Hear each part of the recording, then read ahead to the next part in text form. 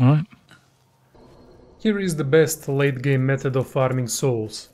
To make this method even better, use Silver Covetous Serpent Ring and Symbol of Avarice. I will show you the location of the ring at the end of the video, while Symbol of Avarice is a rare drop from Mimic chests, those chests that are trying to eat you. Spells such as Firestorm and Fire Tempest are best used for this method because they can kill a lot of these bastards immediately and then you just need to clear the rest of them. Afterwards use either Homeward Bone or go by yourself back to the bonfire and reset. Here is how you enter the painted world. To enter the painted world you're gonna need Peculiar Doll, which I'm gonna show you after this. The entrance is in Anor Londo.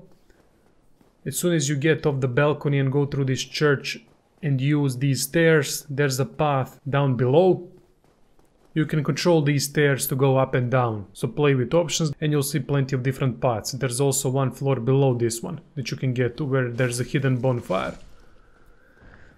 Anyway, at the end of this path there will be a huge painting and you can enter it if you have Peculiar Doll. This is where these enemies that we are farming are at.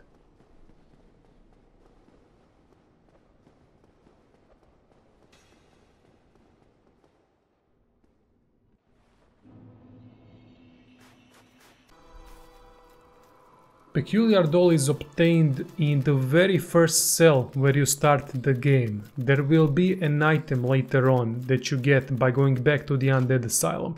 To get back to the Undead Asylum, follow this path and just curl like a ball when there's an option to do so.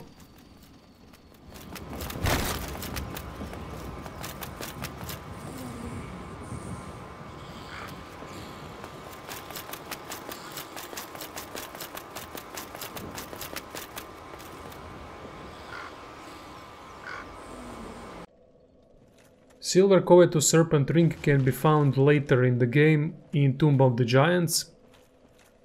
From this bonfire in this nasty location follow the path and I'm also gonna show you the shortcut to Gravelord Nito because it's connected. Be careful, there are nasty enemies here, you can take them out with some higher level spells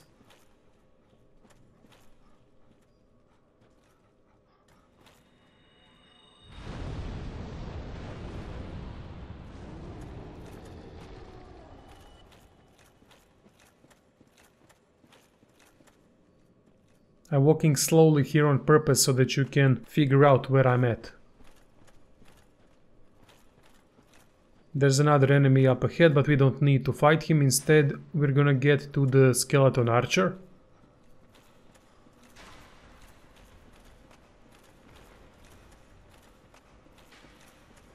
And now jump down where this body is.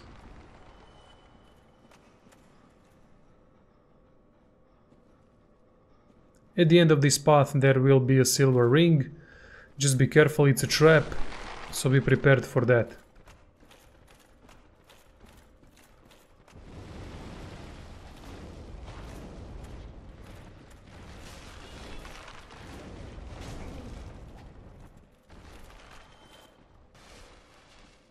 To get to Gravelord Nito faster than usual, you can drop down from this exact location and you'll get to the path that leads to another cavern and Gravelord Nito will be at the end of it. That would be all. Thank you all for watching, I hope this video helps you and see you soon.